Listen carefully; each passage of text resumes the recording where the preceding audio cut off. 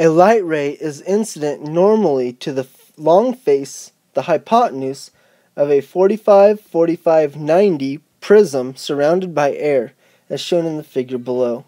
Calculate the minimum index of refraction of the prism for which the ray will totally internally reflect, reflect at each of the two sides, making the right angle. So we have to ask ourselves a couple questions. First of all, what is the the angle of incidence for this reflection right here? Now, so if this is a 45 45 triangle, that means that this is a 90 degree angle here, and this is a 45 degree angle.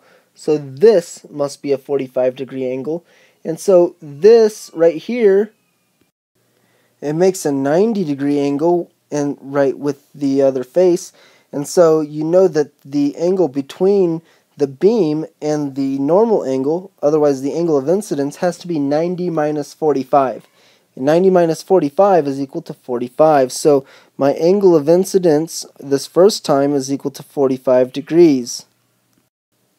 And then since it's reflected, the angle of reflection, this, this angle right here, has to equal the angle of incidence. And so because it's reflected this, uh, at a 45 degree angle, we know that here we have another 90, 90, 45 triangle.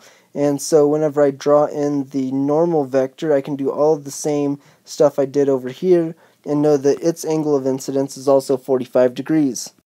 Now that's necessary because we have to find the minimum uh, index of refraction, and that means we have to identify the sharpest angles. In other words, not the sharpest angle, but the the angles with the uh, lowest the lowest angle of incidence. So the more and more closer it comes to going in the normal vector, the harder and harder it's going to be to get total internal reflection. So now we can use Snell's law, and so that's the sine. Uh, so that's n1 sine of the critical angle theta c is equal to n2 times the sine of theta 2, which is going to be 90 degrees. And 90 degrees causes it to be, the sine of 90 is equal to 1, so that cancels out. So we get n1 sine of the critical angle, and we're, we're wanting our critical angle to be at least 45 degrees, if not less. So if it's the uh, sine of 45, n1 times the sine of 45 is equal to n2. N2 is the index of refraction for air, and it's asking us to find the minimum index of refraction for our substance. And so we have to isolate N1.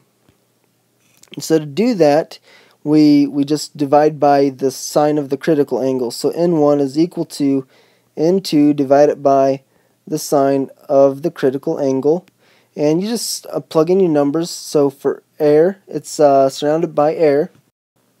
That's 1.000293 and divide it by the sine of 45 degrees and that will give you a N1 must equal 1.414628. Now, I'm looking at this problem and I notice a couple things. First of all, there are no red uh, words or numbers. Red is the things that they change. WebAssign changes the things that are red. These are variables that they change in their questions. And so because they don't have anything that's changed, like they don't say air uh, or water, they could change those out for the problem and have a different variable. Um, but the the word surrounded by air is not colored in red, so I don't think they're going to change that out as a variable. What I'm getting at is, as long as they're using this picture right here, and the angles are all the same, the minimum angle, the critical angle being 45, and the outside substance being air, then everyone should have the same answer. And this is the first time I've ever seen WebAssign do this, so that's kind of why I'm a little bit uh, intrigued. But ultimately, it should boil down to that should be your answer as long as your problem is written the same way mine is. And you don't even have to go through plugging the stuff into your calculator. Hey, thanks for watching. Make sure you check out my blog. The link is down in the About section of this video. And on the blog, you'll find cool stuff like other videos for the same chapter. And you'll also find uh, little download links where you can download calculators to uh, basically just punch in your numbers and solve these exact problems. So you won't even have to watch the video if you don't want to. The last thing I want to say is if you leave comments on YouTube, of course I will get around to responding, but I'm much faster if you leave them at the bottom of my blog, right down there. Enjoy your day.